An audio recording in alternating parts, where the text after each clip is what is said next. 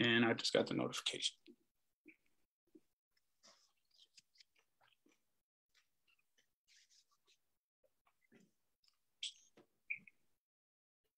Yes, sir. We're live on Facebook. How y'all doing, Facebook? Thank y'all for tuning back in to Get Straight to It podcast, where we're live today with yours truly, Antwoine Hill, on the Amen. side of. Uh, get into prayer right quick so we can get straight to it. No, we're a little earlier, but a couple minutes ain't gonna hurt nobody. Yeah. Uh, Father God, right now we thank you, Father, for this divine opportunity that you have set aside for us to be able to lock arms, me and Brother Antwoine, Father, to share his testimony and to be able to reach those that feel like they need they need more than the church or they will never find their way to the church father i thank you lord i ask that you open up the ears and the hearts of those that need to receive this father god we come against any works of the enemy right now that's trying to create distraction or discord between the airways of this podcast, Father God. And we thank you, Father, for the interview that's about to go forth, Father, and let it praise you, let it glorify you, let us decrease and you increase in us, Father, that they see you in us. And in Jesus' mighty name we pray. Amen. Amen. All right, bro. And with that, with that being said, bro, we can dive, we can get straight to your your testimony, bro. Let people know who you are. That I mean, most of them already know, but Amen. So I'm brother Antwoine Hill, man. Um, I'm a part of this ministry, Kingdom Music Ministries, man. And um, my testimony, every time I'm asked to give my testimony, it's always like a, um, I feel like there's like several parts of my testimony. And so in that, I started realizing like what, what the main part of my testimony is. Well, first of all, I was born in Fort Wayne, Indiana. So no, I am not from Texas. I'm I live in Texas now. I've been living in Texas. Me and my family moved out here about four years ago, maybe a little bit longer than that, but for sure, four years ago. Uh, and I've been living here ever since. Well, I was born in Fort Wayne, Indiana. Um, kind of regular, you know what I mean? Um, I, I, hate to say regular, but but typical story when you're in like from the hood. When everybody's from the hood, it's kind of the same thing. We all yeah, came yeah. Kool-Aid and ramen and all that, the same old stuff, same type of struggles. Nobody was balling. Nobody was balling out of control. In fact, most of us, you know, we kind of lived in um, you know, you know, poverty, so to speak. Not, you know, not not poor or homeless, but we just have much, right? So kind of the typical story when it comes to stuff like that. And uh, you know, my mom was a young mom. Uh, my dad, the young dad, well, my actual, well, my biological father, he, uh, you know, I don't want to talk bad about him on here because, um, you know, we had a chance to reconcile um, yeah. years, but you know, he just wasn't in the picture. You know, he blames my mom, my mom blames him. Same typical, you know, story. Uh, but my stepfather, then when I was about um, six, okay, five or six, and um, he's in my life my whole life, even though even to this day. Um, so you know that was kind of how I was uh, uh, raised. Um, but my mom and my my dad were both um, you know heavily involved gaming. Oh, so wow. okay. yeah, so that dynamic of having gang members for parents is kind of different because yeah, all of your uncles are your uncles. They're all gang members as well, right? They're just all the you know, and so that was kind of like that was my life like you know um and so so god is so good because because this is a vital part of my testimony. Was at six years old my stepfather stepping in his mom was um um heavily involved in church. Okay. Wow. So although my step man and he's a gang member my mom's a gang member uh my grandmother was like, yo, you going to church with me on Sunday. Shout out, Grandma. Right. So Monday through Saturday was everything but church, and then Sunday was the one to church. Okay. You know, and, and I enjoyed being at my grandma's house, so I would spend the weekend at her house. You know, under her rules and different things like that. You know, and so that was kind of like the norm of my life. Uh, like Monday through you know you know Saturday. Uh, you know, being at home. I mean, most of my houses got shot up. Wow. Uh, uh, you know, I've had some super crazy experiences with that. Um, I've seen gang fights, I've seen shootouts, I've been involved in um, a lot of cr- crazy stuff now that I even sit here and even think about it, even now. A lot of the things I saw at a young age was just stuff that I was around. And, But uh, to be honest with you, it was just kind of a normal thing. Um, and raised up in that. So guess what? You're automatically uh, you're automatically affiliated as you get older. Affiliated you, by association. You become a part of that, right? So my whole life was uh, gang um, activity, gang affiliation, gang everything, right? I was so, I I was so, uh, in, and so in in in and uh, influenced by that that I wouldn't even like use a red lighter to light my cigarette.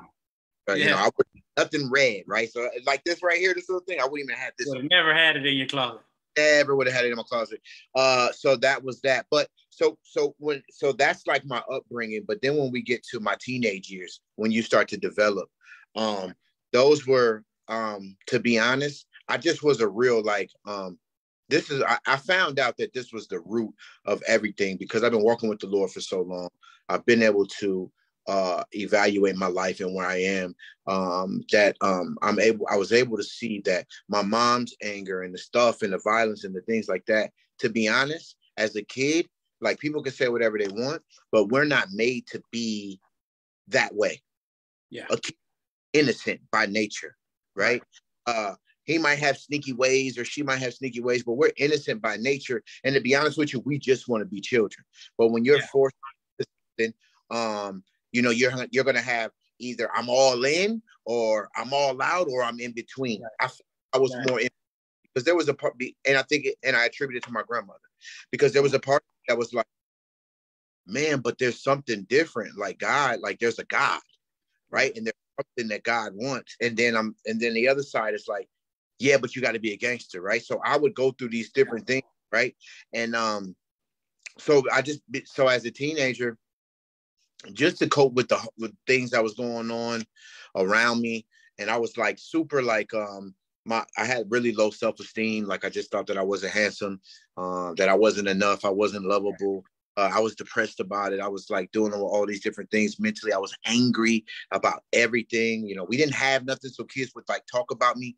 Ah look what you got on. And then you know that would lead to me them in the mouth right? You know what i mean? Yeah, like, yeah right? Because I don't have no defense. Like, what can I, I, I got this, but I got this. Yeah, I don't got right, right. So right. that's a whole bunch of. I mean, I fought, fought, fought, fought, fought, and most right. of it was talked about what I had on. So I got to a certain age, and um, I tried uh, uh, marijuana for the first time. I tried weed for the first time, and um, that was like my escape. Yeah, right? I was high. It took me away from everything mentally. Uh, yeah enough, right? To the yeah. point where I would start, I, I, you know, fast forward over time, I started doing pills, I started doing lean, I started doing X, I started doing all the different everything that a graduate. yeah, because I was just like, yo, to be high for a little bit helps me escape these thoughts of depression, right. helps me escape these thoughts of suicide, helps me escape this anxiety, this uncertainty. My it gives me confidence where the places that I lack confidence, it you know, but you know, you know, you do ecstasy and you feel like you can do whatever, right? So those different things, right? So those different things was just things that I would use to cope with um just life in general. But the reality was um there was just a little boy in there that was just like, man, I don't really want, I just want, I want to be happy. Right. I want free. I want to have joy. I want to have peace. And um, although my grandmother made me go to church, I never really truly grasped who Jesus was.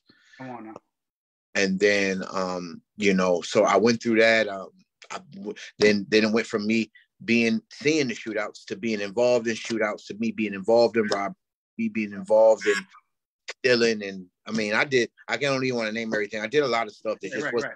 It was uh, you it know, a whirlwind of problems for you.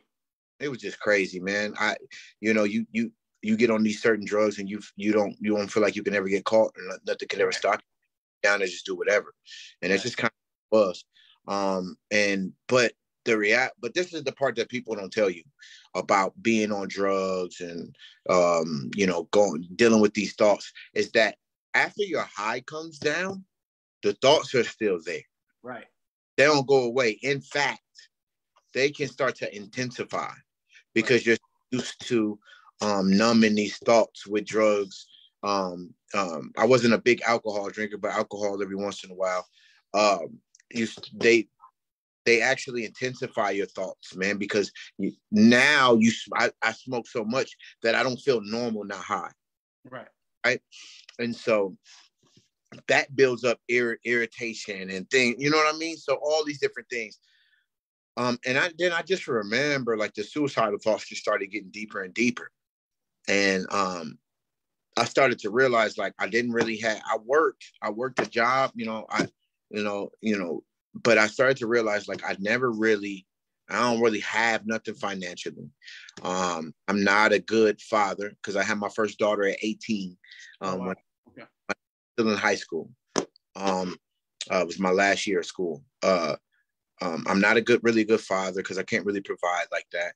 Um, I'm not a really good son. Um, I'm mad at, you know, I'm not a really good brother. I'm mad at everybody. I'm not a really great friend. I don't really love myself. I really don't know what love is. And I'm just struggling with all these areas of my life because the reality is I've never really gotten to grow, uh, live a normal life. It was just, you know what I mean?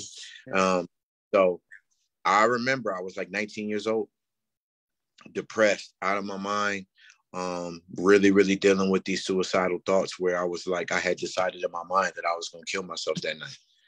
And and I ended up, and I tell this actually told this testimony a few different times. I tell I tell it a lot when I go minister, but uh, I really was like, the enemy had convinced me into believing that okay, you said you was gonna kill yourself, so you got like yeah. the enemy fence. Like I can't, you can't be a liar. You can't go back on your word. You said you was gonna do it, to do it. And um, that night, that night, I just so happened to walk into a church that I went by all the time, and I and I seen this church. Now, you know, the, the awesome thing about God is that my grandmother was always that one person that would be like, "You're gonna go to church on Sunday. I'm gonna plant this in you, and I'll plant that in you." So I had some word in me, right? Yeah. There was, you know, I didn't know, like it wasn't like I didn't know who Jesus was, and then all of a sudden he was introduced. But I went into this church because I believed. I seen, I seen God in my grandmother's life, like for real. Right. And so I remember being there with this mental, I'm going through these things mentally, I'm depressed, I'm everything, and I'm just no good to nobody.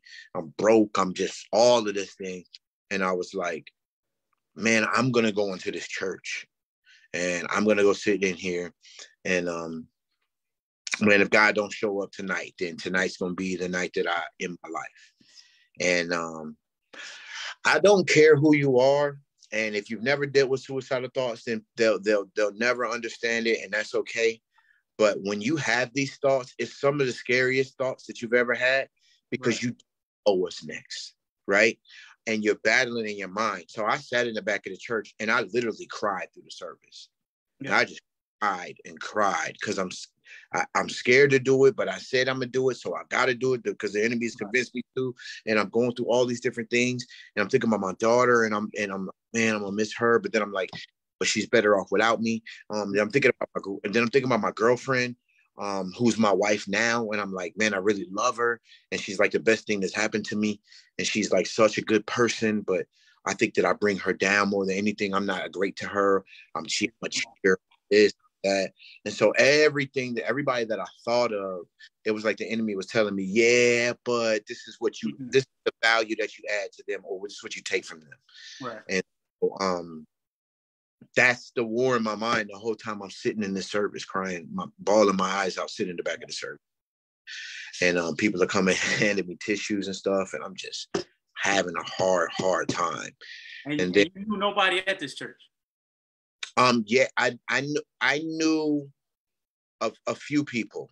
Okay. Be- because of this, because I tell the story and I'm like, I didn't know anybody at the church, but that's not true. That's not. I wasn't. I'm not trying to lie about that part, but I I I, I forgot about the part that there was some people in there that knew me yeah. because of all the times my grandmother had made me go to church. Okay. Although this was a different church, these churches were kind of affiliated with each other, okay. right? Yeah. Um, so there was some people in there that knew me, but not like on a personal level like that. Like they knew who I was. They see me with my grandmother. They knew my grand. They definitely knew my grandma. Yeah. They see me with my mother and stuff like that. So so I really was alone. Um, there was maybe sprinkled in there some people who might knew who I was by my face and my grandmother, but that was really it. And um, we started preaching. Um, now the preacher, the preacher knew who I was. Okay. He told me personally, like, but he knew who I was because of my grandmother. And they began to preach. And um, everything he was preaching about was just everything about me. And although he knew me, he did not know me on this level to be knowing all these different things that he was talking right. about. And he's just hitting it back to back to back. And at one point, I remember, and I don't know if this is the same service or not, because it's like a blur. I, I, was on a lot of drugs back then. I can't remember. right. Yeah. Yeah. I, I don't know the same service or a different service, but that preacher was preaching at another serve at another service or this one. I don't know, but he pointed to me and was like, Antwoine, God wants to blah blah blah, right? Yeah. And I'm like, oh, I'm thrown off, right? But anyway, that's happening this night, and it's everything's just like bam, bam, bam, bam, and um, and I, it just really for me, it was like, oh, God hears me. Yeah, that was like my first moment where I felt like God had heard what I was going through, what I was struggling with, what I was dealing with, and He wanted me to know that He loved me.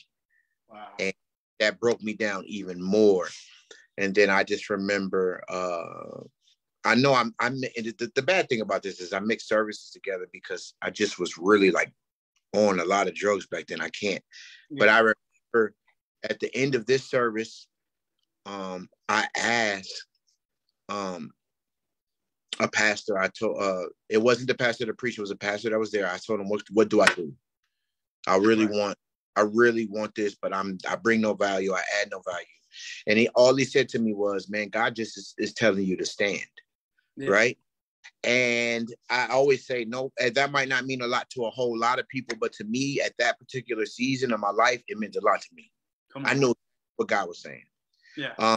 Because um, I knew in my heart of hearts that God had called me to something, but I just didn't know what to do. And it was like God was saying, look, just stand, start walking, and I'll do the rest.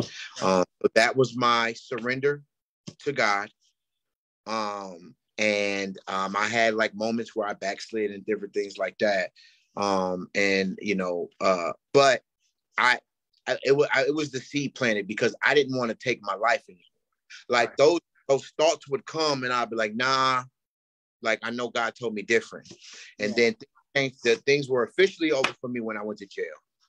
Oh. I went to, and I, it was only like 15 days, but that was a, enough days. Yeah. Uh, because up to that point, I was still getting high. But right.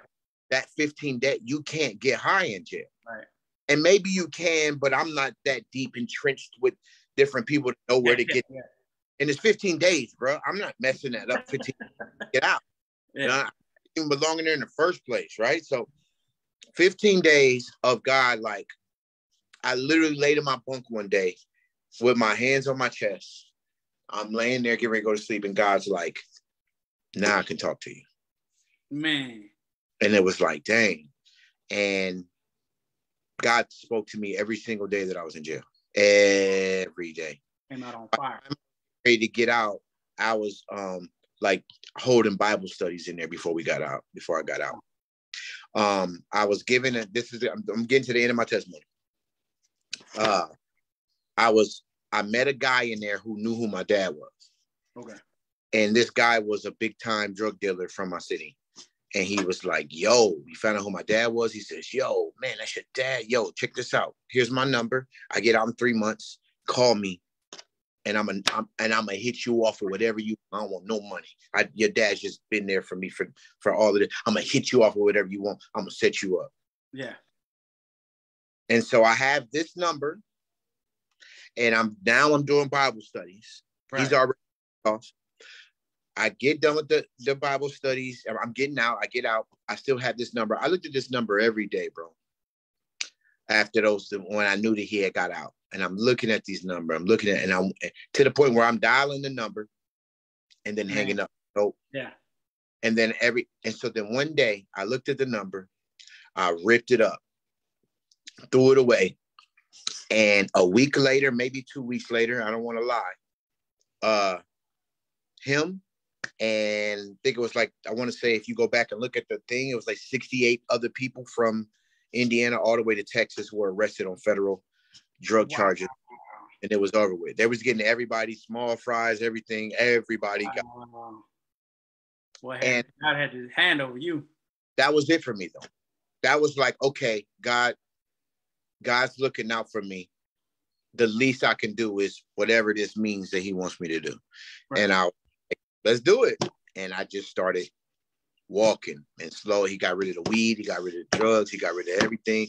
Slowly but surely, he got me a job that I, it was just so many different things. There's side of the testimony, but but I'd be going talking forever if I gave everything. but yeah. that uh, all that all that was it for me. Like I, I I had that night at the church, and then I was kind of you know still dibbling dabbling, and then I had that night with with jail. I mean that day with the jail, and that was enough for me. And I was like, all right, God, I hear you. Where you want me at? I surrender. And it's been a wrap ever since. It's been trials and tribulations because that's just a part of life. Right. Uh, but even through all of that, I haven't walked back. I haven't walked away from him. So I'm grateful for that. Man, that's good. And were were you making music before, or did you? I was. I was making music in the world, secular music. Uh, I was nice. I ain't gonna lie. I could rap, but for me, it was like I could rap. I only wanted to get on tracks with cats to show them that I was better than them. Oh wow!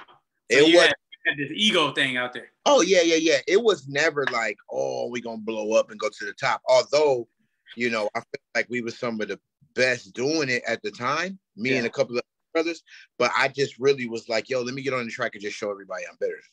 And it just really was like that was just what I was. I was like a freestyle king. Like I could freestyle forever for hours.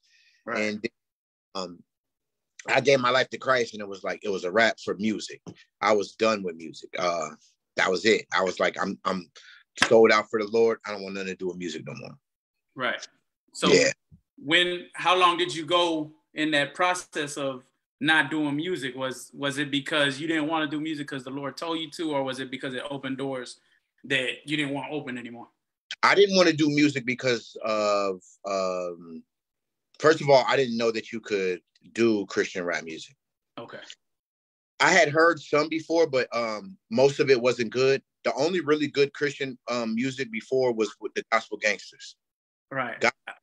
Was they were way before their time. You can literally pull a gospel gangster song up off of YouTube from 10, 12, 13 years ago, and they are on par with cats that's rapping right now. That's how far ahead of their but other than that, I hadn't really heard much. Like I heard T Bone, he was cool. But I thought T Bone was cool. Um, but like some of the other stuff was just like it just wasn't my thing. And I was like, and I was like, nobody relates. Like the only Gospel Gangstaz the only ones. Like, right. And so for me, it was uh uh I just didn't I just was like I didn't and I didn't care about the music like that. Right. I cared about where I was spiritually that I just needed Jesus and that's all.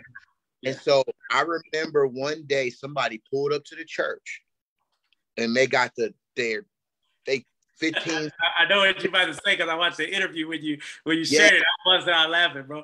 Yeah, they was banging, it was bumping, and I'm like, yo, I'm like, bro, you bugging. You pulling him to the church. and he like, nah. He like, get in the car, check it out. And I, I ride in, ride around with him, and it ends up being Lecrae.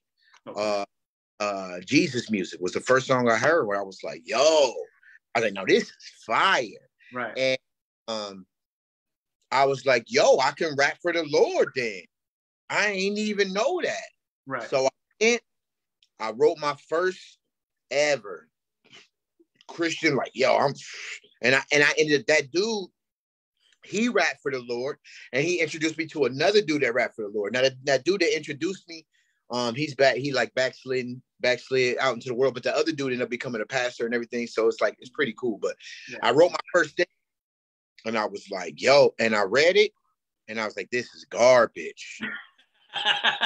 it was garbage because I this is why I knew because this is why I always say like yo you either all in or you ain't. Right. I knew that it was so street um laced that it was was not something that could actually be used uh for the kingdom. I right. mean, I, there's different level, but I knew that this wasn't good. It was right. yeah, I was just saying just like cliche things over and over because I did I never rapped for the Lord before. And so uh I remember God telling me like I remember God saying put the music down. Right. And I oh, all right. Because there was nothing that God would tell me to do that I wouldn't do. I put, and I put the music down. And I fasted, prayed, read, served in every single area that you can think to serve. Ushering, shoveling snow, cutting grass, cleaning the church, uh, uh, even sang in the choir if they needed me to. I did anything that was needed to be to help grow um right. church and the and the beast and to serve. I did that for two years straight. I ain't touch a I ain't touch a beat. And this I was all while you're in Fort Wayne? Yeah, that was all while I was in Fort Wayne. I didn't touch a beat. I didn't write a verse. Nothing. None. I just was just serving because I wanted to grow. Like my desire was to get discipled, was to be held accountable, was to grow, and was to serve. And that be like the crazy thing, like when cats just be like, I gave my life to Christ, I'm getting ready to start rapping. I be bugged out when I hear that a lot of times. Yeah, because we're gonna, we gonna get to touch on that because I'm, yeah, I'm yeah, yeah. So so but so so I did that's all I did um for two years. And then um and then I met Brian. I met y'all Brian. met out there in Fort Wayne, or y'all met in oh, Fort wow. Wayne. Okay. In Fort, uh, Monica had been saying that she wanted me to meet her boyfriend or whatever, and I was like, I don't really care about meeting your boyfriend. How, how was that encounter? Because uh, I mean, that's Monica's what little sister or big sister? Little sister. She's my oh, little so sister. How, that I mean, you're serving at the time. Flesh didn't rise or what? Uh, nah, I just did. I just wasn't interested in meeting any any dude that she was with. Was like, you know, she had been with like dope boys and like different things, and I didn't. I didn't rolled up on these dudes. I didn't. I didn't grab them, grab them yeah. up, like yo, like I didn't. You know what I'm saying? Uh, and so big brother I, Yeah, and so I was just like, I really ain't interested in what you got going on with a boyfriend because you don't pick very good boyfriends. so so she's like, oh, he's this, that, blah. And I'm like, I'm not even really mind paying any attention. And I'm like, right. um, so there was like the night where I called, like that's a whole story right there where I called and left a voicemail and everything. Anyway, they ended up coming to um, that's a whole another story about how how you know, Monica and Brian even came to church in the first place. But they came, she came and she brought Brian, and I mean he was cool. I, he just I knew he was older than her right? Uh, and you could just tell. And so he just he was just respectful. He was just cool. He shook my hand. Um, you know, we was just like, yo, like it was just it was cool. And I and I wasn't interested in knowing too much more because I was like, yo, you know, we should just break up with this dude. I, I don't really know. Right? right. My time was still in the world. So I just really didn't know what was what. And so I was just, you know, I shook his, hey son, I'm doing this podcast. You might have to go back there with your Oculus. So um, I I, I uh, shook his hand. Boom, introduced my. He introduced himself. I introduced myself. Cool. Blah blah blah blah blah. And then uh, Monica was like, "Yo, maybe we could do music one day." Oh, wow. Or he did. One of the two said it, and I was like, "Yeah, all right." and because because because God told me to start doing music, I didn't know that right. he was stop for a while. Yeah. But I, I thought that it was a done deal. And I don't care what Monica or Brian say. If God said it's a wrap. Right. And so I remember driving home that same day. I'm driving home and and uh hearing God say, uh um now. Wow. And I was like, now what? Like, and I knew right away he was talking about music. And I was like, dang. And I didn't understand. I was like, oh, I thought I was done.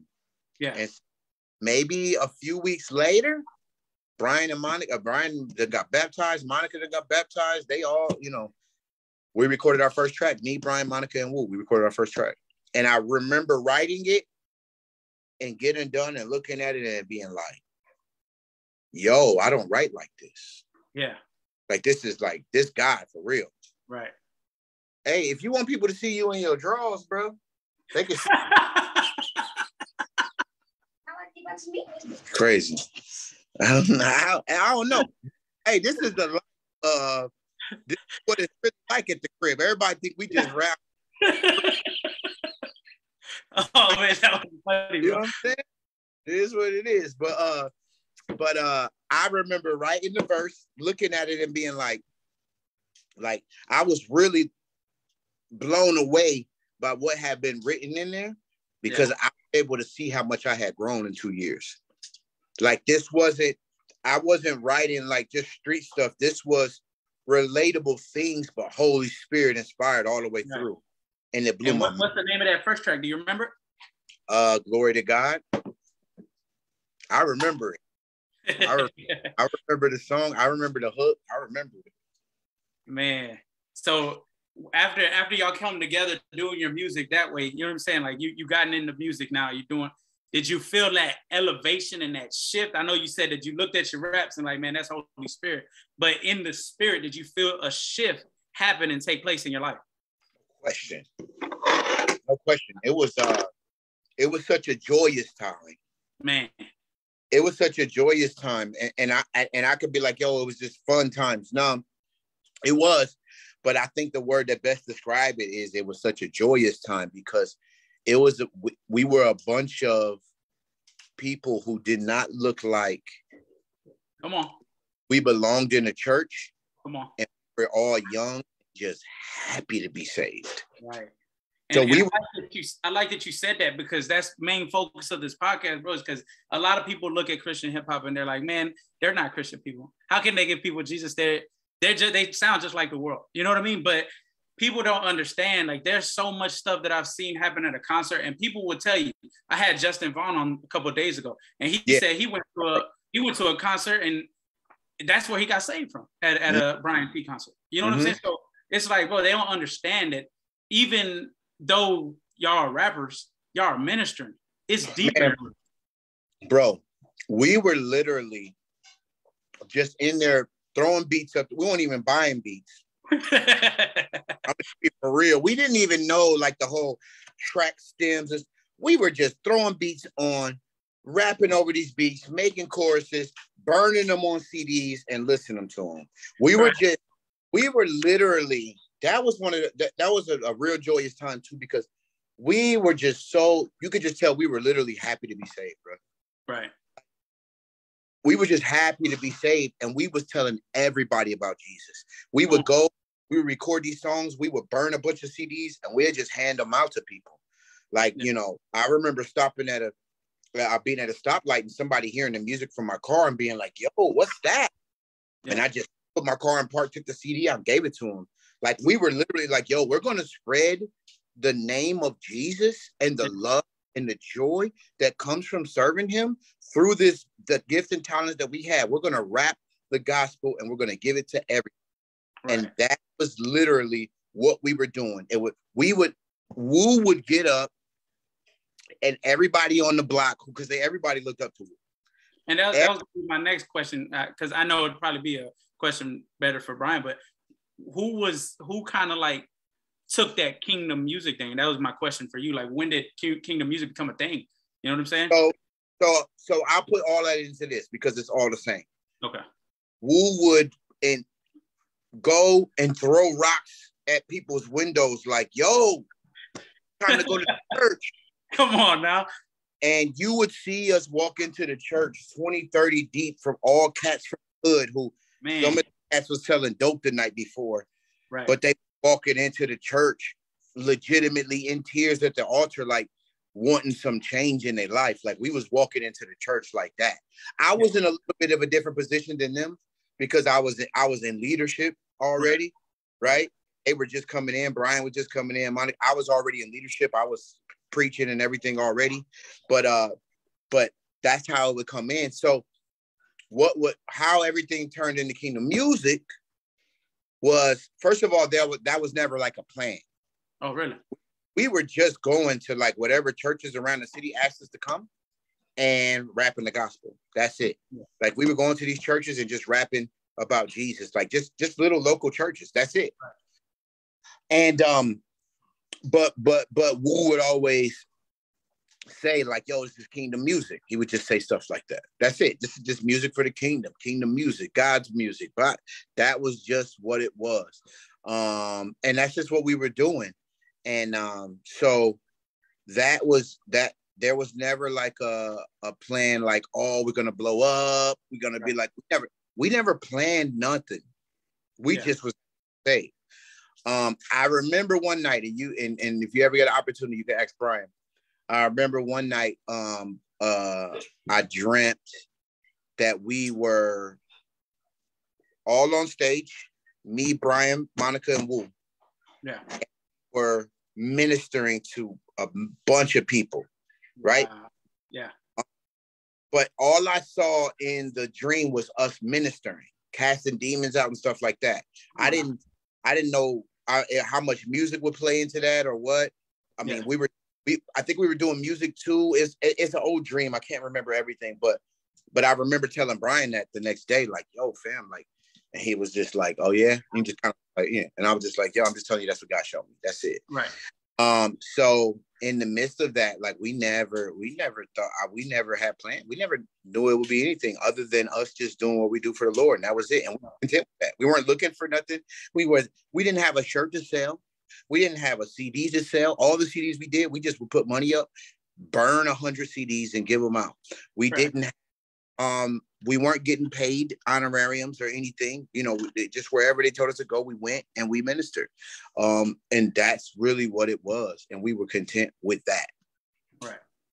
And that's awesome how you broke that down. I don't want to dive too much into it, but because I, I want to focus on more of, of the testimony and, and, your view on, on things. Because I can sit here and ask you questions for days because I'm a legitimately a legitimate fan of King K. Yeah. You know what I'm saying? So, but we're going to keep it Antwoine here because you you were the one that I like I tell you all the time. I even message it to you. People sleep on Antwoine, and I tell my wife all the time. People sleep on you, bro, because especially now the music that you're putting out, I, I, already knew that like this level of of the way you spitting, I knew you were gonna come here. You know what I'm saying? But they've been sleep.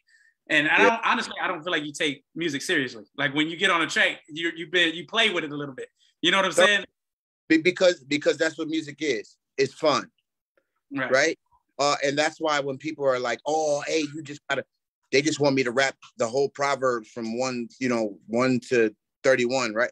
And I'm like, yeah, but music's fun too. Like, um, and this is the reason why music's fun. Um, because there's a younger generation, right? That we still want to reach. So right. you're going to have these super um, super serious songs like Little Things, yeah. and then have these super fun songs like I'm Free. Right. Still all about the gospel, still everything, but two different, completely different places, but serving it. Oh, each song serving its own purpose, right? So yeah so like yeah i'm a i'm a you know i might rap about what what's going on right here. I got the water bottle you know that's you know a lot of that stuff is real time stuff. Right. flight was rough so i wrote this on the flight. It was a rough flight. I wrote it on the flight. It was to keep my mind off of the fact that the flight was rough right, right. or you know another cipher i guess. Well i had just did like four ciphers and i didn't want to do that one. I would follow the I was just like, all right, another cipher, I guess, right? So it's this, it's uh, it, it, it's it's it's relevant to what we're doing, and music is fun. I do t- I do take it serious. Like I do want my I do want the verse to stand out in some sort of way. But uh, it ain't nothing to be. You know, we not we not in competition like we were before. Now it's just about edification and encouragement. Man, come on now. I'm gonna tell you right now. You snapped on that kingdom one. That you snapped on that. That's my favorite verse, bro. But uh, when you do music, you know, you talk about how you wrote, how you writing and all that. You travel a lot. You know what I'm saying? So you're you're uh, man, it's it's hard to see where you're going next because y'all travel a lot. How do y'all yeah. find the downtime in between? Because y'all get off the stage about what 10 o'clock. By the time y'all go eat, by the time you get to your room, it's probably like 2 30, 3 30 in the morning. How do y'all find the balance to be able to get y'all's music, the, the minister y'all's music the way y'all do and write it so heartfelt? You know what I'm saying? Uh, Brian will tell you this, and I agree with him to a certain degree. I just don't have the same uh, uh, ability that he has. Um, God writes it on your heart, yeah. and the things happen throughout the day. Um, that's why I say music is rel- relative to what's going on, for especially for me in this, you know, is relative to what's going on. So, uh, you know, Brian doesn't write lyrics. Wow. Um, he's able to just you know, God puts it on his heart and he's able to just recite it. I write. It doesn't mean that God's not putting it on my heart just because I'm not freestyling it. I write them. Well, I type them. Right. But uh, uh, so um, I think that you you have to be intentional uh, because everything in life is balanced. Right. You intentional like everybody in my city knows because everybody lives here. Uh, Brian lives here. Brian and Monica, of course, live here. Z lives here. Uh, Drew lives here.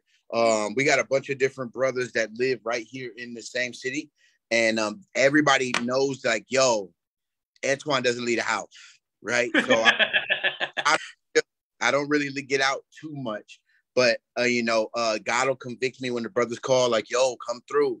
So um, being intentional about your time. Um, usually Friday, Saturday, and Sunday is me out ministering or whatever city that we're in. Right. Um, Monday, Tuesday, Wednesday, Thursday, I like to spend time at home. Now, uh, um, I might take a Monday out to go jump in the studio a Monday night. And I'm and I'm not like I used to be where I was able to spend all night in the studio. I'm intentional. Like, okay, what are we doing?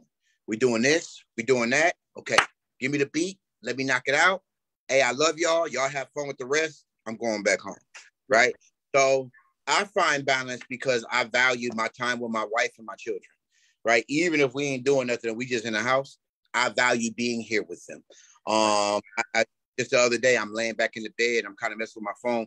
My kids are in there. My wife is in there. They're all laughing and joking, and I just was like, "Yo, I enjoyed this time with y'all." And they're like, "We ain't doing nothing." I'm like, "Yeah, but I enjoy this time of y'all being just being in here with me."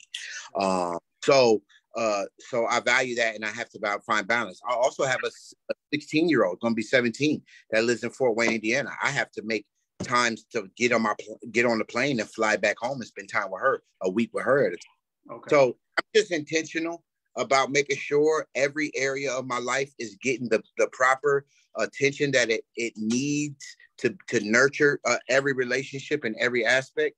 Um, right. so, so the music, it just comes because we really do it. Like what I mean by that is like, we really like, if we get, when we get locked in, you know, I, I, I thought that it was normal for people to write a verse in 15 minutes. Wow. I found I found out that it wasn't. I found out it takes people hours and days to write verses. Yeah. Well, I'm blessed enough that it takes me 15 to 20 minutes to write a verse, sometimes 10 minutes, you know, maybe 30 at the most. So that when me and Brian get in the studio, he writes like that too. So we're able to just bam, like so we're able to knock music out in a fast at a fast pace because God gave us that gift to where we can write like that. So most of the verses that you hear none, that have taken 15, 20 minutes to write. And so, you know, we had we had weeks where there was nothing going on, and me and Brian did 18 songs in a week. Oh, so, you know, it just depends, right? Are we in that season or we not? So we make time for what we need to make time for. So now leads me to my next question about up and coming artists. You touched on it a little bit, so I had to I had to kind of tell you that we're gonna get into that a little bit.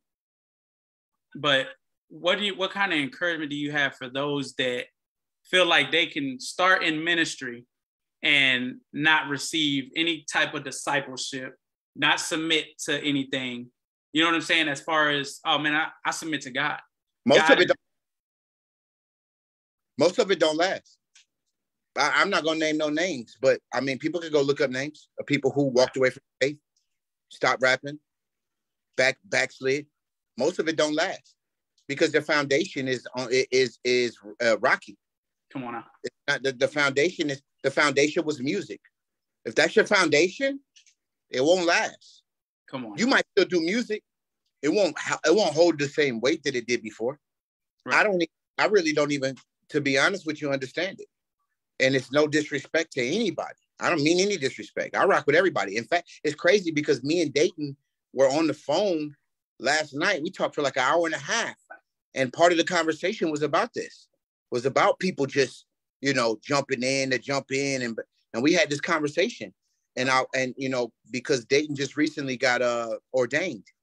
Yeah and yeah. this is what people focusing more on pastoralship. And this is what people don't know.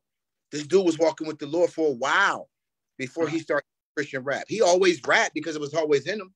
But right. before he stepped all the way into God over money he had been growing and being discipled in different things this is the other thing.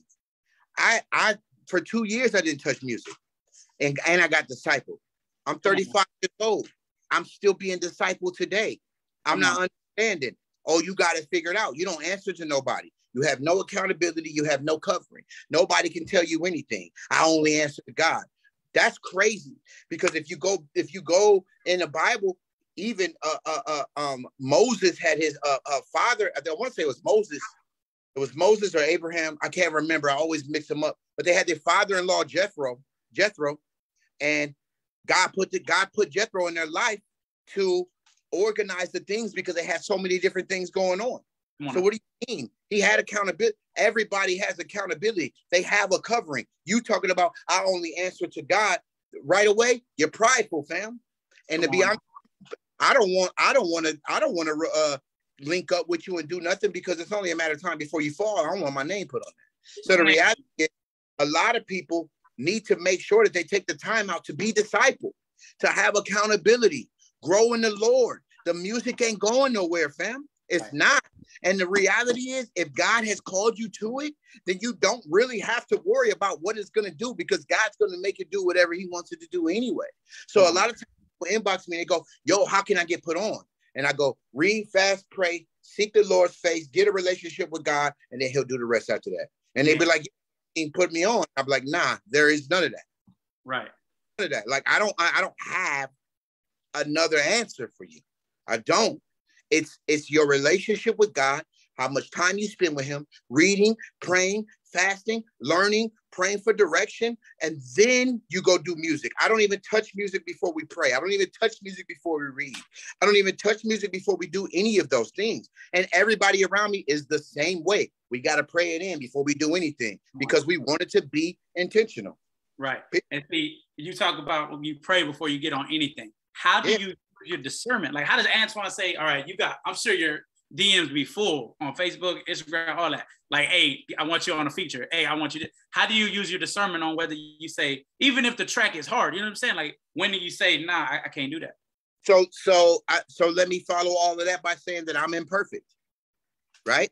I'm following all that by saying that I'm imperfect, and there have been times where people be like, "Yo, uh, can I pay to pay to get you get a feature from you?" and they catch me in my broke day, and I'm like, heck yeah, send it over. I'm just being honest. Yeah. I'm being, I'm being for real. I'm being honest because I am imperfect. I don't do that anymore. It doesn't matter what my situation is, but I had times where I was there, like, all right, yeah, yeah, I got you.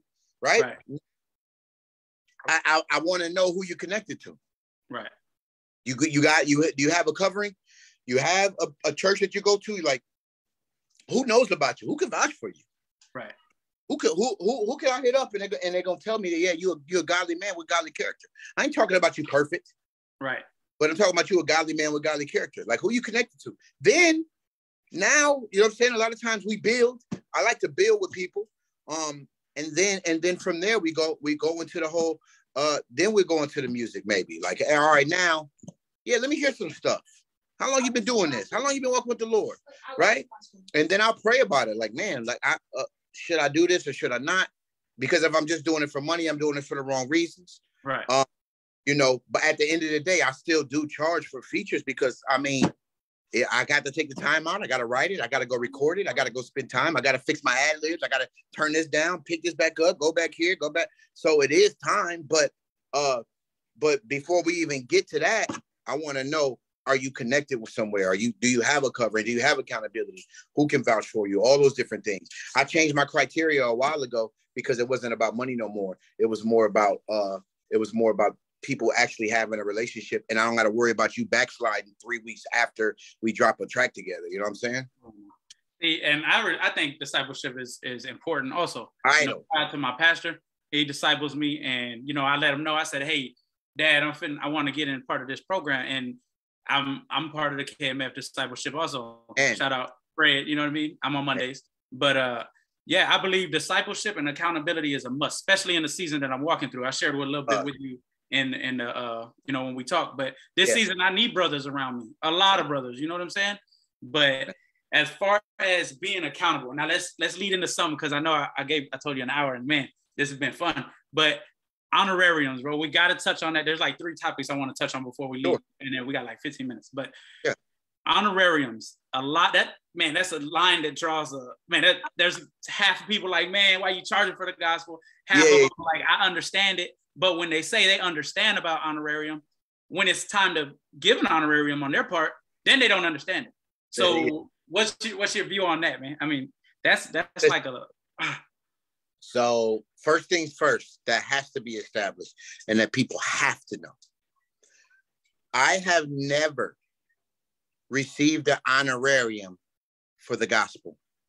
Come on now. Let me just make that clear. And some people will be like, but wait, you get paid to, to minister. Yeah, let me let me let me clear that up. If I walk outside right now and I run into a man on the street, do you think I'm gonna say I would give you the gospel, but I don't know if you can afford my honorarium? Right. Right. They, my interactions with people is season in the gospel all day, every single day. I go to the men's home, the men's home, the Rise Discipleship home. All right. I teach at the Rise Discipleship home. I don't get paid for that. Okay. I've gone to different places and done different things and preached where I have not gotten paid. But here's the other side. It's crazy to me that people can't see this, but it's cool. I know there's some, it don't matter what I say right now. I won't convince some people. That's fine. Uh, but you want me to um leave my home, and most people cannot afford to fly me out of Abilene, Texas. Okay. So I have to drive two and a half hours to Dallas, get on a plane, fly to wherever city you, you're in, in a hotel. Or now I'm away from my family, where right. I tell you I value that time the most. Right. I'm away from my family. I'm in a new city and on a whole other side. Go up, do whatever amount of long set you tell me to do because you want me to do music. Right. So I do music, I preach, I do this, I spend time. I ain't one of them cats that do my thing and leave. I spend time with people. Um, and then you say, Oh, you want me to pay you for that time?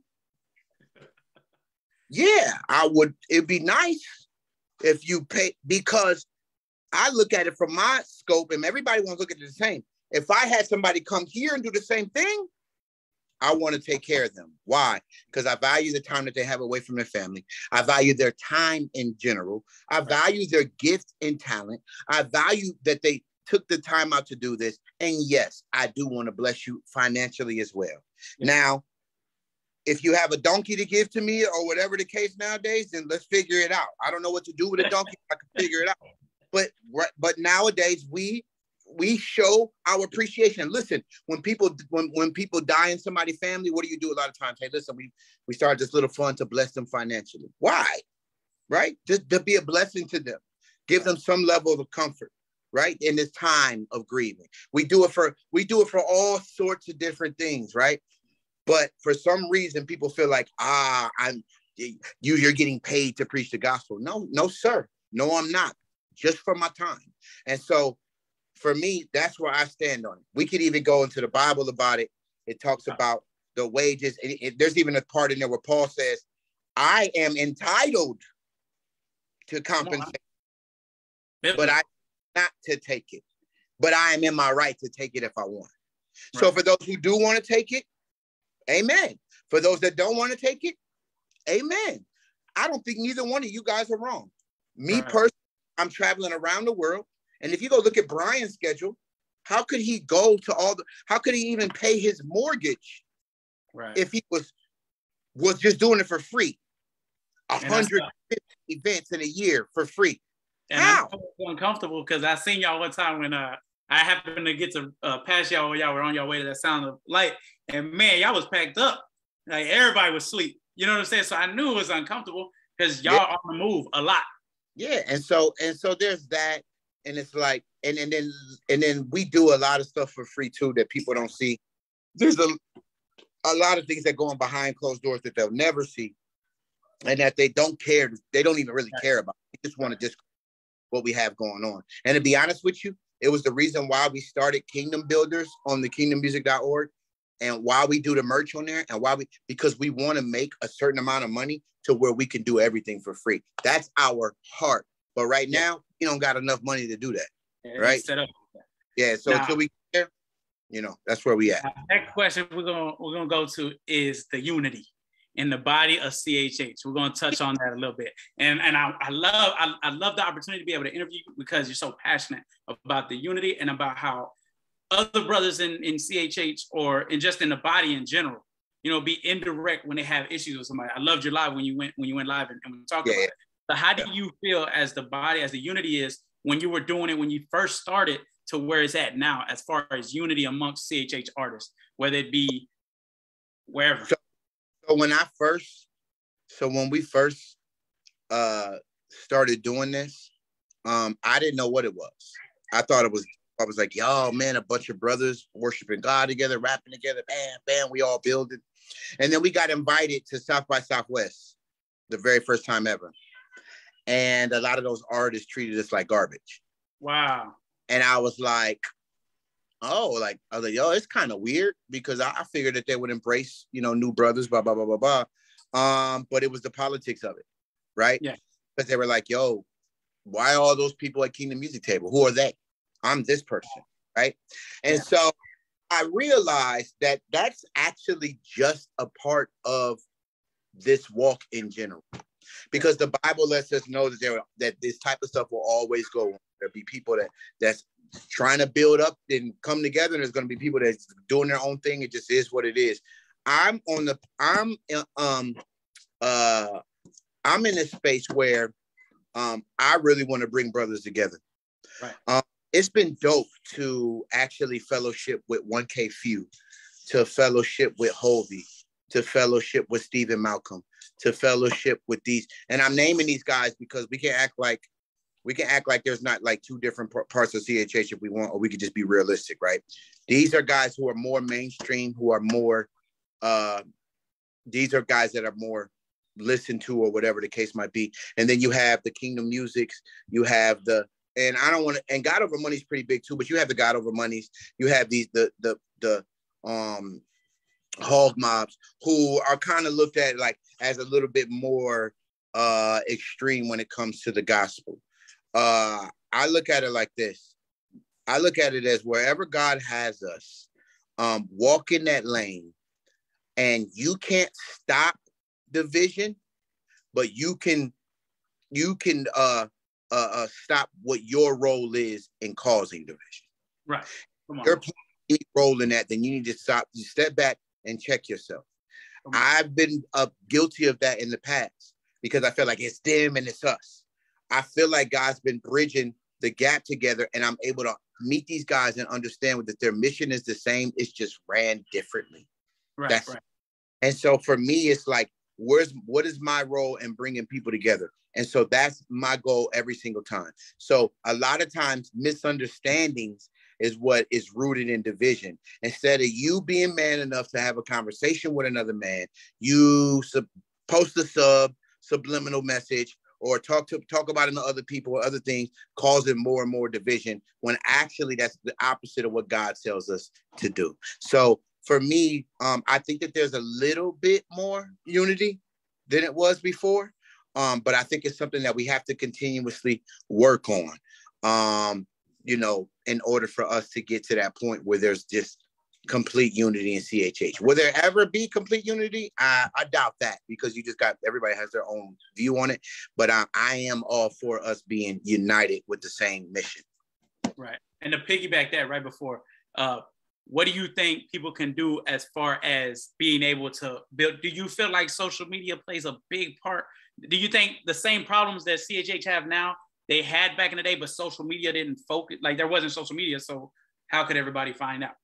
I don't think they had the same problems back in the day, and this no. is why I don't think they did because they knew that they needed each other in order to grow this thing because it was a new thing, wow. right? Yeah. Uh, and they were actually ostracized by most churches. They were the devil, according to most churches. They were the this is demonic. This is right. God. We don't want this near us, where we're actually received a little bit more now than we ever have been.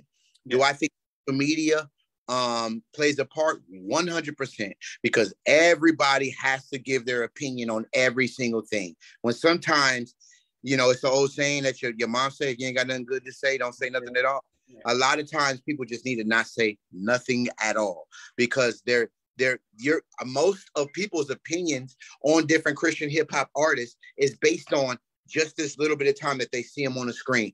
That's it. They don't know anything about them. They don't know anything about their families. I saw somebody say the other day, man, uh, man, Brian didn't change so much. And I'm like, sir, you've never met Brian before. How do you know if he's changed or not? You don't know him personally. Like your your view on him is based on what you have seen on a screen for a certain amount of time. You don't know him. You have no relationship with him, but you can go online and say, look at him. He ain't the same. He changed. Here's a case in point. Years ago, when we first started, there was uh, um uh remember the clip for the Hallelujah song? If you if I don't know if you go back that far. Uh remember the um in Jesus' name I say amen. Amen. Remember that song? We shot the clip for the Hallelujah song video. We shot the In Jesus' Name video within the same week. We recorded 18 songs. This is what I'm talking about. We recorded 18 songs. We shot like seven, eight videos. Wow. We dropped it In Jesus' Name video. People were like saying whatever they were saying about it. We dropped the clip for the Hallelujahs videos. And what they said was, man, bro, they're already changing. It was shot in the same week. We were the same people. Nothing different. We shot, we recorded the songs the same week and everything. Nothing had changed or anything, but people were like, oh, they changed. This is what I'm saying. The perspective that people have through a, a camera or a, a, through a phone, through a computer is so skewed. They don't even know you. They have no idea who you are.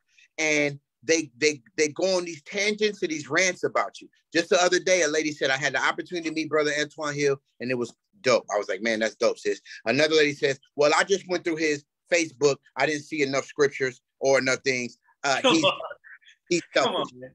On, so it's like, and that's why people be like, I'll be like, man, I block people. They'd be like, dang, you shouldn't block them. You should love them. But like, listen, I block people because a lot of times they're just on there to cause division, to get you knocked off to make you feel some type of way or belittle you when actually their their view of you is very skewed because they only have this much view of me. And i'm and i'm and i'm actually have this many different things about me that every that people that really know me know about me. So yes. So, so it, social media definitely contributes this is and, this has been awesome, bro. Man, I still got a lot of things I want to ask you about. Go.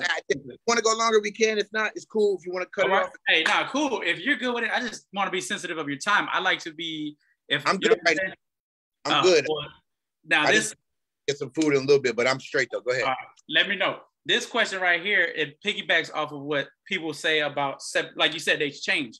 How many times has it been hard for you? And you know, you can answer. You you don't have to but how many times has it been hard for you because you have to you have to take criticism on behalf of Kingdom Muzic and them feeling like y'all I'm gonna say y'all's evolved y'all evolved into a ministry, full-blown ministry. Y'all are not only rappers anymore. Y'all like B, he's a pastor, and people don't see that. But he's actual a, a pastor, he's ordained and everything. But they see y'all as rappers, so y'all they they play y'all from that standpoint. How many times have Antwoine had to kill the flesh because overall you're gonna stand up for your brother, bro? That's your brother. Outside of music, outside of ministry, that's your brother-in-law. Y'all grew up together. Well, spent a lot of time together. I'm gonna keep it 100. I'm gonna keep it a thousand. Straight to uh, it. just the other day, just the other day, I, I hit a brother up like, yo, you wilding out. You need to chill. Like you saying some stuff that you don't know nothing about. Blah blah blah blah blah you know what I mean? Hit my hit my line, we can have a conversation about it. Right. Um, he texted me, said I'll call you later. It never happened, but it's all good though.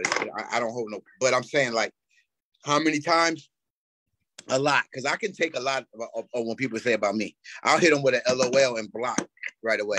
You say stuff about Brian, you say stuff about my wife, my children, which I ain't had that happen up to this point. Thank God, because I don't know what I, I don't know. I don't know. But uh, you say stuff about brothers like that that I know, no. uh, I have to bite my tongue a lot, but that's a part of it. Uh, killing my flesh every single day, and a lot of it, I just block people because, and that's the other part. I block people because it's taken away from my piece of where I'm at. Right? It's not like oh, just screw them. It's like I can't. I don't know if if this conversation keeps going if I'm gonna respond the right way. So it happens to me more than I'm I'm proud to say. Now accountability. How many yeah. times have your accountability buddy, you know, called you and be like, say, man, you gotta, you Antwoine, you wilding, you bugging, bro. You, you gotta take a step back. Oh, all the time. it's a part of it. I, I, it just is what it is because I am passionate about stuff and I do have an opinion on stuff. So right. yeah, sometimes it might come off a certain way, and then, and then a lot of times posts and different things are uh, might be interpreted one way, and, and but I didn't mean it that way, and it got right. misinterpreted, and then I see people's response, I'll take it down and be like, dang, I didn't even mean it like that, right? A lot of times that's why that's why I'll go live a lot of times because I want to clear up what I typed out and it didn't come out the right way. And now I can actually say it. Uh, you know, that's why a phone conversation is better than a text message, right? Mm-hmm. Uh so no, my main my main accountability is Brian. He's usually the one that hits me up like, bruh, you know, right. you and I'm kind of his main accountability too. Especially so our drives from Abilene to Dallas is where we have a lot. so yeah. So with, with that being said, man, like when when you do take things down, do you ever get them people to be like, oh, he ain't standing on what oh, because he erased this, he don't stand on what he says. Yeah, you know, but yeah, but I don't care about that. That's stupid. That's actually that's like a dumb way of thinking because it's like maybe I second guess what I put in was like, okay, I don't want that to be. And then a lot of times I'll delete stuff because people are arguing right. on this. And I'll be like, nah, this is actually causing more problems than help. Let me take this down. And then people like, oh, you're not standing on your word. I don't, bruh. Anybody that know me know I stand 10 toes down on what I believe in 100%. But I'm not I'm not willing to fight all those fights all the time, especially when I can't really type everything that I want to type out and explain it in a way that sounds intelligent uh, at all because I'm just typing, uh, you know, on my phone, right? So a lot of times I'll be like, you know what? It's not worth the fight. It's not worth the battle. I don't want to have this this this debate. I don't want people to, to, be debating it. I'm gonna delete this, right? So yeah, so nah, I, I I don't care about that. Now let's just go over the spiritual warfare real quick. I want to tap on that a little bit because I, I love your opinions on on a lot of things because you're direct, bro. So mm-hmm. when, with you being having to travel, you go into different areas. When you go into different areas, it's different regions. You know, a lot yeah. of different principalities are, are in operation in different yeah. areas. You know what I'm saying? Like y'all go, y'all fly out to places, and then being being people know that y'all coming maybe a month before y'all get there. So yeah. just like people say that you know preparation and all this, we got to prep ourselves to be able to withstand the enemy. There's somebody I, on the other side that's fighting against y'all. So what kind of spiritual warfare being on the road have you encountered that really stands oh, out? Um, I've had uh, I had a, a small church in Oklahoma one time uh, where I walked in. They were super religious. Uh, they they went in on me about me having a hat on and all kind of different things, and um, I was just like, all right, I'll take my hat off. We'll do it, whatever, whatever. But my wife was re- got really really sick inside of it, and the moment we left out of the building, she was fine. And wow. so that's one of the spiritual warfare battles. We've dealt with witches who actually come like, yo, we're we're coming to, you know, disrupt what you're doing. Actual witch, which is kind of kind of crazy. Um we dealt we deal with uh what's a what's a, a spiritual warfare one that's really big that happened. Um, I, am if I'm really really honest with you, I've I've I've dealt with a lot of them. One of them that's recently reoccurring is um, there's a certain region that will go to a certain state in in that area that we'll go to, and there's these guys that come and they set up their whole thing and they discredit what we do the whole time. They stand out and they talk down and discredit what we do and we're false preachers we're wolves we're this we're that. And um, that's their whole uh, goal. They say that their goal is for people to hear the real gospel but the reality is it's not true. Um, enemies using them. They don't believe it but you know yeah. the enemy uh, so that's one of the things that happens a lot. Uh, we get death threats sometimes. Um, you know people saying they're gonna kill us. Uh, we get uh, man, bro, we get uh, it's a lot. It's a lot. If you're not spiritually um um um mature enough to deal with it, um, it will probably scare you. Right. Um, but um, you know, we just know it comes with the territory. But we get a lot of like different. We have people come to try to disrupt um services a lot, um, and particularly witches. Really, like that's kind of one of the big things. So we ain't messing with them. yeah, yeah. So we, so we so we go into so we definitely that's why we pray before we pray after we right. cover. Um, a lot of times what people don't realize is that they'll they'll see an altar call and they'll be like, "Why didn't Brother Antwoine come down to pray?" Because Brian will be going out to pray, and I'll be standing up somewhere praying over him while he's praying. No, that's a that's a position of armor bearer. I mean, you yeah. gotta so, Yeah, so so so uh just because we know it's real, it's a real thing. So we, you know, we just try we just try to equip ourselves and be ready. That's why fasting is important, different things to be ready for that stuff. Come on now. And then one yeah. thing that's uh when when y'all go on stage, I've always I've read in the comments and when when y'all do shows, people are like, why do they all go up in a group? Yeah. Why? You know, like, have you ever gotten pulled to the side and like, hey man, why y'all do that? Or you know, because I've I've, heard, I've I was been at a I've been at a show where I overheard people talking and they're like, oh man, that's look, they think they're special, like a gang or something. Look how they go on the stage. So this this is the thing. This is Brian's fault, first of all. This is uh, we have a lot of this is what people need to know. I pray that people really see this part this uh there's a lot of brothers that are connected to us that are just brothers of ours right, right? and um um brian doesn't want to leave anybody out yeah so it's not like hey we're gonna go up here and nah if brian's doing a hype song first he'll go hey y'all come up here and let's just have fun right so it's not to be like oh we got an entourage it's let the brothers come up to have fun. This is what people don't realize. A lot of times you won't even see me up jumping and stuff. I'm in the back, like letting the brothers who don't always get to come have fun on stage with them, and I'm just back there rocking. You know what I mean? I so see that firsthand. Yeah, it's not even not. It's not even that. You know, yeah, yeah. Even that day we were shooting a video in Houston, like I'm like, hey, y'all go get in the video. Right. I'm background, right? right? It's it's to include everybody. It's not an entourage thing. It's to include everybody, let them have fun, enjoy themselves. And then, you know, as Brian goes into the ministering part, if people pay attention, uh, that's when people start leaving the stage. It's like, hey, come up here, we're gonna have fun, and then we're gonna get right. So it's not, it's not like a gang thing or anything like that. It's literally that Brian wants to include everybody for people to come up and have fun because you know a lot of people is just like, oh, can we come up with you? And he's like, yeah, come on, let's go have let's go have fun together. So it's not nothing else really. So I'm gonna I'm not gonna take too much more of your time. What Are happened with the juice box confessions and all that?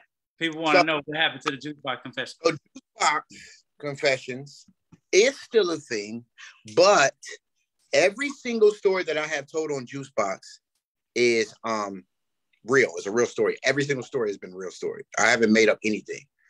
I have a this is really what it is. I have a very, very terrible mind that was beat down by drugs for a long time. I have to sit back and remember stories that have happened.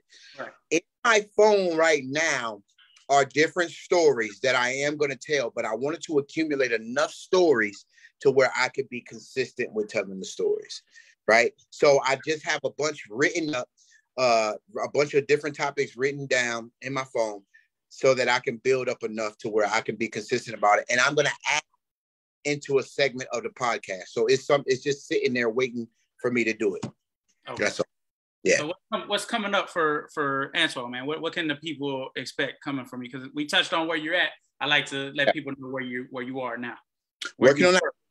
Working on a new album already because I plan on dropping wow. two albums here. That's the plan. Uh, uh, we'll see if we get there, but I'm planning to drop two albums this year. Um, so working on an album right now. I was actually in the studio last night with you. Um, working on um the podcast. I'm just working on the camera right now. So if anybody, if it's on anybody's heart and they want to help me with a camera, let me know because they ain't cheap. But I'm trying to get a camera. I want the quality to be good because I want the I want the podcast to be something that I do every week and it's of high quality. Right. And um, you know it's relevant to what's going on uh you know i want it to be funny and i want it to be serious i want it to be a little bit of everything but i want to have fun do you have the name of it Uh, I'm, I'm, I don't, I do, but I don't because I'm going through a bunch of different names. Okay. Right. Uh, I've had it, then switch it, had it, then switch it, had it, then switch it. Um, but I have a lot of relationships with a lot of CHH artists um, that are like, dope. It's gonna be dope, man. And so I want to bring on.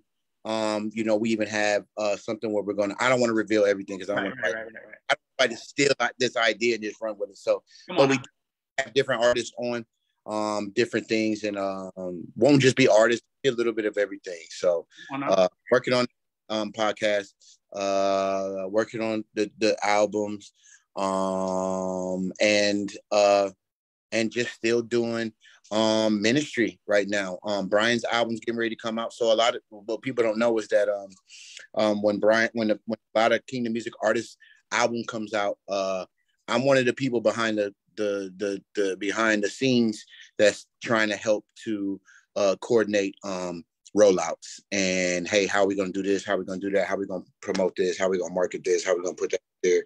Can we put some money over here? Can we put some money over there? All the little things. And so i'm one of the people that's in the background helping with those different things. So even when people ain't, don't see me doing music i am still doing ministry literally every single so so that's kind of where, where i'm at with it uh with everything right now. That's where i'm at right now Man, when you when y'all gonna put a storefront out here in Houston, man?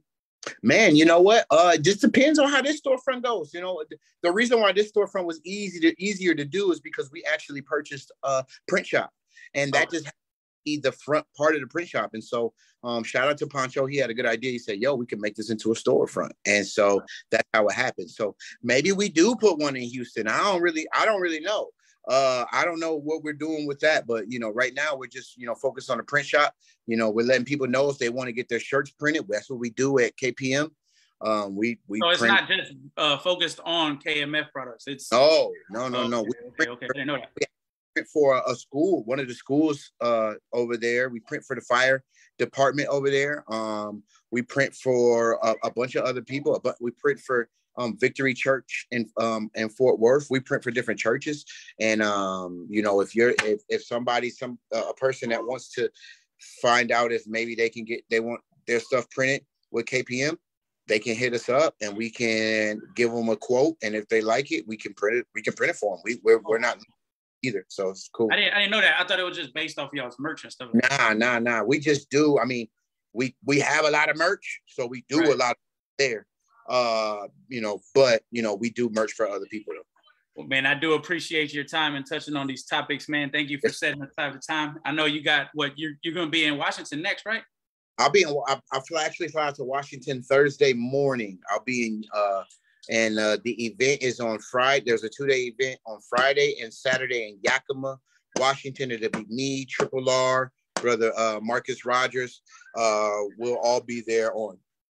Excuse me, on uh, Friday and Saturday this weekend. Uh, Jay Diamond and, and Triple R. I know they were talking about. They wanted people to know. So Yeah. uh, shout out and let me shout out too. I mean, just because this is who I am. Um, this this this weekend on the 29th, Brian, um, Zanti, Serve, uh, Kieran, a bunch of brothers, uh, Santiago. Um, I, if I miss you, it's not on purpose, but all those brothers will be out there. They'll be doing service with a purpose that morning. So service with is actually hitting the streets, feeding the homeless, doing all those different things, man. The, the what we should be doing. And then Saturday, mm, I want to say Saturday night, um, they're doing a concert as well. So shout out to Pastor Ernesto Perez. He, uh, we actually locked arms. We'll be uh, the podcast will be out there helping with it in the morning. So then, I'm, uh, I'm so I'm grateful for Kingdom Muzic because I used to be like, dang, I want to be here, I want to be there. And as I matured, I realized like it's so awesome that I'm in Washington because I wanted to be in the Houston event, uh, Right. but I was already booked in Washington. But I think it's so dope though that I'll be in Washington ministering while you know the brothers will be in Houston ministering, and then we have other brothers that are connected that be in different cities all over the place. And it's like it's dope because it's like we get to hit all these different regions at the same day at the same time ministering. and I I see I see the Santiago's. They be on it, bro. They, they be everywhere too. They be everywhere. They be everywhere. so Real. thank you, man, and, and shout out to everybody tuning in today. Shout out uh, Antwoine for being on the show, separating the time. I know you're very busy, so Yeah. thank y'all, man. Thank you. Caught me on a good night. I'm just ain't doing nothing but about to eat and play some Xbox. and, I, and I always talk to my wife and I tell everybody it's funny because when the first time I was gonna bring you on, the computer crashed and you Yeah. waited a whole hour, like, man, we can still run this. And Yeah. by eight o'clock, like, nah, man, we can't do it. Yeah. But. I appreciate it, man. And everybody stay tuned because on the 29th, also we got a podcast. The Get Straight Tour will be on the 29th at DJ Kool-Aid's benefit. We will be at Crux Ministry. So if y'all okay. not doing nothing, come out there. You know, we're gonna be out there. It's gonna be the World Rejects. Um, I think a few other people stroll and then all them. But if, if y'all out there, man, come out there. DJ Overflow be out there. DJ uh, Overdose. Y'all come chop it up with us, man. Uh, the details are on the flyer. I'm sure you can find it on the page. Thank y'all Amen. for tuning in. Thank y'all. And we, and the podcast will be with the outreach also with the get Southeast Get Rap Church. I think that's how you pronounce yep. uh, yep. Church. Yep. We're gonna be out there in the morning serving. So if y'all want to donate any hygiene products or anything, yeah. with the podcast, or I know my church is locking arms with them also. So we'll be out there. I think we'll be out at uh man, I can't remember the name of the church, but I know it's by U of H. Be out there at eight o'clock to bag, and then at eleven o'clock we'll be headed out to Tent City to hand out all the hygiene products to everybody, and then by two o'clock it's wrap. What it's about. Amen. So yeah, we're gonna be locking arms with them. So shout out y'all for tuning in. Thank you for the extra time, Antwoine. If you, I'm gonna end it on live, but if you can stay on just for like two more minutes, that's it. All right, cool. All right shout out Facebook. Thank you, and catch it on the YouTube. We'll be on. I'll upload it here later on tonight.